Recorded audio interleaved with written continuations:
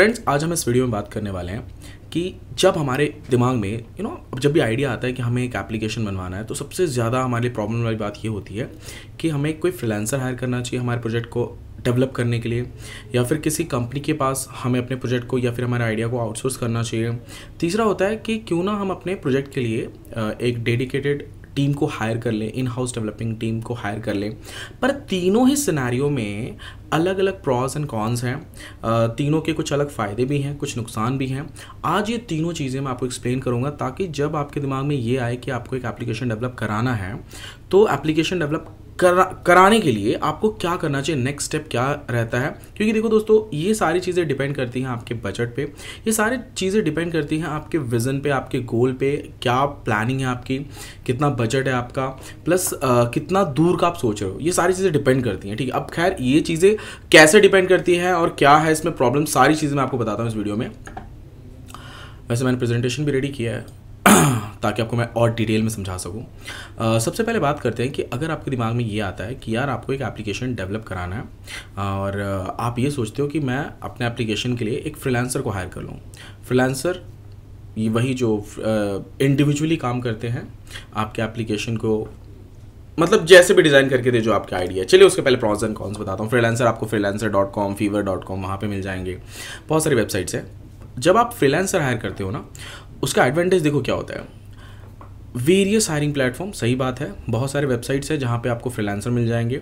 Second है cost effective देखो क्या होता है ना फ्रीलांसर के दुनिया में कंपटीशन बहुत ज़्यादा है। बहुत सारे फ्रीलांसर इसलिए कंपटीशन बहुत ज़्यादा बढ़ गया है। तो वहाँ पे क्या है कि कॉस्ट कम हो जाता है। कम कॉस्ट में आपको आपका एप्लीकेशन डिलीवर हो जाता है। मतलब आपको अपना एप्लीकेशन जो है बना के आपको मिल जाता है। उसके बाद में no worry about taxes vacation से या राइट सही बात है। अब देखो क्या है कि अगर आप किसी अदर कंपनी के पास जाओगे अपने एप्लीकेशन को डेवलप कराने के लिए तो उनका सैटरडे संडे ऑफ़ रहता है। उस टाइम आप उन्हें कॉल नहीं कर सकते। बट फ्रीलांसर को आप कॉल कर सकते हो। शनिवार, रविवार रात को भी कॉल कर सकते हो। तो ये फ्रीलांसर की तरफ़ से फ़ायदा है। Sick leave office spaces extra ऐसा कुछ सिनारियो रहता नहीं उनका। तो फ्रीलांसर अगर आपको कभी मीटिंग करनी हो तो आप मॉल्स वगैरह में जाकर मीटिंग कर सकते हो। ये मतलब देखो, फ़ायदा क्या है? ये सब उसके प्रॉन्स बता रहा हूँ। कॉन्स क्या, देखो, सभी मुझे लगता है आप लोगों ने भी कभी ना कभी फ्रीलांसर को हायर किया ही होगा। तो ये सारी चीज़ आपको बताऊँगी कि आपने जब अपने प्रोजेक्ट को फ्रीलांसर को दिया होगा तो क्या क्या फ़ायदा आपको हुआ होगा और क्या नुकसान हुआ होगा। नुकसान की बात करते हैं कि कोई गारंटी नहीं रहती है कि कमिटमेंट की, कि वो जो जो उन्होंने कमिट किया है, उस टाइम पर वो आपको एप्लीकेशन देंगे। देखो क्या होता है ना, जब कमिटमेंट की कोई गारंटी नहीं होती तो आप उसको पकड़ भी नहीं सकते हो। ये फ्रीलांसर में एक नुकसान वाली बात है और सच्ची है ये। लैंग्वेज एंड कल्चरल बैरियर सही बात है। समटाइम क्या होता है ना आपने फ्रीलांसर को हायर कर लिया आ, अगर आप इंडिया में हो और आपने हायर कर लिया आउट ऑफ़ इंडिया का तो वहाँ के लैंग्वेजेस वगैरह में थोड़े से डिफरेंस या फिर आपने इंडिया में रह के केरला साइड के लोगों को हायर कर लिया और आपको इंग्लिश बोलनी नहीं आती तो आप अपने प्रोजेक्ट को सही तरीके से आ, बता नहीं पाओगे एक्सप्लेन नहीं कर पाओगे और आप कुछ बताओगे वो वहाँ से बनाया कुछ देगा। एक्चुअली ये एक बार मेरे साथ भी हुआ था जब मैंने टीम हायर किया था। Out of out of India sorry Kerala का हायर किया था तो उसको समझाने में बहुत प्रॉब्लम कम्युनिकेशन गैप होता है एक्चुअली तो गारंटी कोई रहती नहीं कमिटमेंट की दूसरा लैंग्वेज की प्रॉब्लम आती है जब आप फ्रीलांसर को प्रोजेक्ट देते हो तो. ठीक है? हार्ड टू मैनेज सही बात है. क्या है ना यहाँ पे फ्रीलांसर को एक घोड़े पे लगाम डालना बड़ा मुश्किल होता है. वैसे फ्रीलांसर भी वैसे ही रहते हैं खुले सांड होते हैं इंडिविजुअल रहते हैं. एक्चुअली मैं भी फ्रीलांसर रह चुका हूँ कभी ना कभी. चलिए कोई बात नहीं ठीक है. तो इनको क्या होता है आ, सिनेरियोज ऐसे रहते हैं कि यार ये लोग ना इंडिविजुअली तो काम करते हैं रात में, दिन में, कभी जब इनका मन होगा तभी लोग काम करते हैं। प्लस इसमें ऐसा रहता है कि इनको थोड़ा मैनेज करना कि अगर आपने आपको सुबह चाहिए तो अगर इन्होंने शाम का टाइम दिया तो वो शाम को ही देंगे, आपके कहने पे सुबह नहीं देंगे। पॉसिबिलिटी है सुबह सब फ्रीलांसर ऐसे नहीं होते हैं, सुबह भी दे देते हैं, ठीक है? चलो, अब बात करते हैं अगर आपने अपने प्रोजेक्ट के लिए डेडिकेटेड टीम को हायर कर लिया तो क्या हो सकता है, ठीक है? और क्या प्रॉस और कौन से यानी कि उसमें क्या फ़ायदा और नुकसान? आपका ये आपको बताता हूँ मैं। ईजियर कम्युनिकेशन ये सबसे बड़ा फ़ायदा है। कि आपके पास डेडिकेटेड टीम है यार, आप अपने प्रोजेक्ट को बहुत सही तरीके से उसको एक्सप्लेन करके बता सकते हो कि मेरे प्रोजेक्ट में यहाँ पे ये फ़ंक्शन काम करना चाहिए, इस तरीके से काम करना चाहिए, ठीक है? Second deep understanding of the project आप अपने पास आपके डेडिकेटेड टीम है ना, अभी देखो फ्रीलांसर को आप स्टेप बाय स्टेप बता सकते हो डेडिकेटेड टीम को मीटिंग्स लेके बहुत डिटेल में बता सकते हो, इस फ़ंक्शन पे ये काम होगा, उस फ़ंक्शन पे ये काम होगा, वहाँ पे क्लिक करने पे ये काम होगा, बहुत सारे सिनेरियो बहुत सारी चीज़ों का बहुत डिटेल में एक्सप्लेन कर सकते हो, ठीक है? और ये फ़ायदा है सच में अगर आप एक डेडिकेटेड टीम को हायर करते हो अपने प्रोजेक्ट के लिए तो ये फ़ायदा है इन हाउस टीम जिसको हम बोलते हैं। टीम कल्चर फिट यस बिल्कुल सही बात है। वो अब क्या होता है ना, आप अपने प्रोजेक्ट को जिस तरह से डेवलप कर रहे हो, आपने एक डेडिकेटेड टीम हायर कर ली, वो टीम एक तो आपके वर्क कल्चर में फिट हो जाती है प्लस आपके प्रोजेक्ट को लेके वो भी सीरियस हो जाते हैं। अभी देखो, आपका प्रोजेक्ट है, आप सीरियस हो बट अगर आपके प्रोजेक्ट को लेके जब आपकी टीम सीरियस हो जाती है ना, तब ग्रोथ ज़्यादा दिखता है। चलो ये फ़ायदा है, ये बात सच है।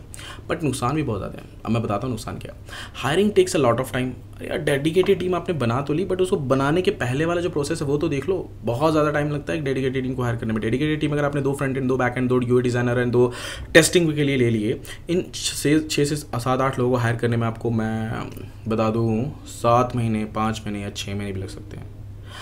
सम टाइम दो तीन महीने में भी हो जाता है बट अभी के सिचुएशन के हिसाब से तीन, चार महीने, पाँच महीने कहीं नहीं गए हायरिंग करने में। टाइम बहुत ज़्यादा लगता है। Expenses on vacation tax equipment सही बात है। अब आपने डेडिकेटेड टीम हायर की तो उनको इक्विपमेंट तो देना पड़ेगा ना? अरे भाई, उनको लैपटॉप पी दोगे तभी तो काम करके देंगे ना। अपनी टीम हायर की वो घर से थोड़ी लेकर आएँगे। फ्रीलांसर में था कि वो अपने लैपटॉप पर काम कर रहा था, कोई फ़ायदा था? एक्चुअली मैंने पॉइंट लिखा नहीं था, पर ये फ़ायदा है फ्रीलांसिंग में।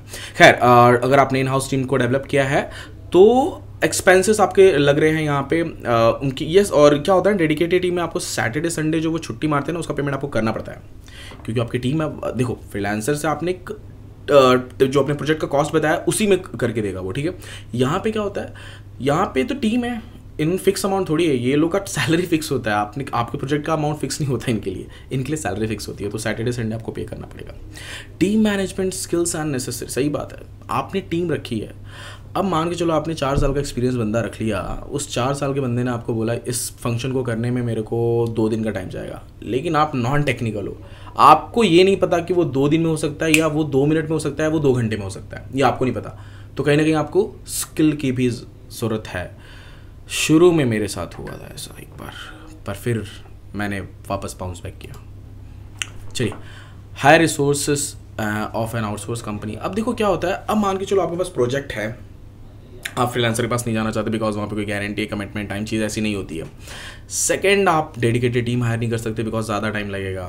चीज़ें बहुत सारी वहाँ पे अप डाउन्स होंगे, आपको पेमेंट ज़्यादा पे करना पड़ेगा। ऑब्वियसली जब आप इन हाउस टीम रखते हो तो ज़्यादा बजट ज़्यादा होना चाहिए। ठीक है, ये उनके लिए होता है जिनके पास अच्छा खासा बजट है और विजन बहुत बड़ा है। अब आपके पास सिनारियो ऐसा है कि आप प्रोजेक्ट का अच्छा आइडिया आप फ्रीलांसिंग के पास नहीं जा रहे हो बट आप ऐसी कंपनी के पास जा रहे हो जिसके पास टेक्निकल टीम है, आप अपने प्रोजेक्ट को उनके पास आउटसोर्स कर रहे हो, जैसे आप लोग मेरे पास आते हो, ठीक है? खैर, मैं मेरा प्रमोशन नहीं कर रहा हूँ बट हाँ बता रहा हूँ। ठीक है, चलिए, इसके प्रॉज एंड कॉस कॉन्स को समझते हैं क्या आता है हाँ देखो क्या होता है, हर चीज़ का फ़ायदा नुकसान होता है। कहीं ना कहीं अगर हम पॉजिटिव हैं तो कहीं ना कहीं हमारे निगेटिव पॉइंट्स भी रहते हैं। देखो, मैं फ्रीलांसर भी रह चुका हूँ, अभी इन हाउस डेवलपिंग टीम तो चला ही रहा हूँ ठीक है? प्लस हम लोग प्रोजेक्ट आउटसोर्स जो प्रोजेक्ट्स करते हैं दूसरी कंपनी वो भी हम लेते हैं आपके भी प्रोजेक्ट्स हम लोग लेते ही हैं। तो इसमें क्या फ़ायदा नुकसान होता है ये मैं आपको बताता हूँ ठीक है? इसका फ़ायदा सबसे बड़ा ये ना कॉस्ट इफ़ेक्टिव रहता है ये बात सच है। आप देखो आ, अगर हमारे पास कोई एप्लीकेशन रेडी है उसको वाइट लेबलिंग करके देना है आपको सेम से नाम सेम प्रोजेक्ट को आपको मेरे को बना के देना है टाइम भी कम लगेगा पैसा भी कम लगेगा और मैं करके देता भी हूँ जिसको हम बोलते हैं template based application right no additional expenses सही बात है। आपको अपने टीम को कुछ एक्स्ट्रा खर्चा देना, आपने डेडिकेटेड टीम तो रखी नहीं है।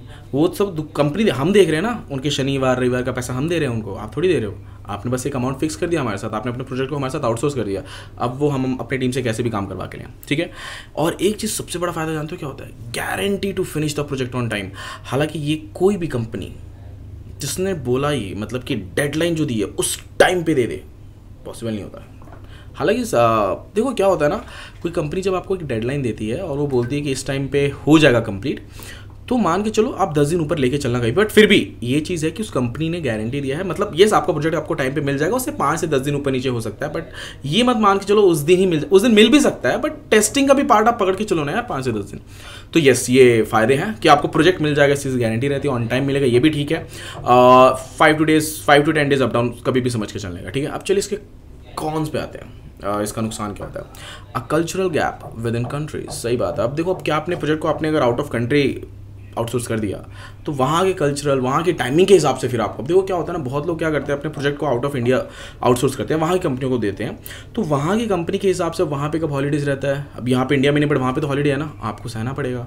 उसके बाद में अब वहाँ के कल्चर्स क्या है, वहाँ का वर्क कल्चर क्या है, वहाँ की टाइमिंग क्या है, ये वो डिसाइड करेंगे, ठीक है?